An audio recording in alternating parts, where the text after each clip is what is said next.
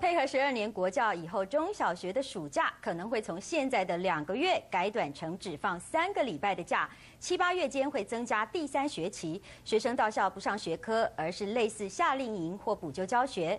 家长和学生有赞成也有反对，就怕学校变相拿来上课超前进度，孩子课业压力增加，没得喘息。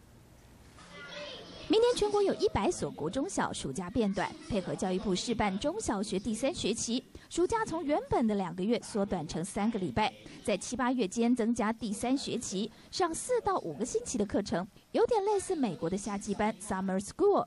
上课内容包括数位、本土、才艺、运动、语文等多元课程，也可以拿来做基础学科的补救教学，不列入学业成绩评量。不过假变短了，很多学生家长都不赞成。功课的压力原本前一学期很大，如果暑假不够的话呢，我就会没有充足的时间休息了。呃，游玩时间太少，休息的时间变少。我们还想要出去玩。也有人认为，暑假很多家长照常上班，很多孩子都送到安亲班，多了第三学期，只是把外面参加的夏令营改成到学校玩乐。应该没有影响吧？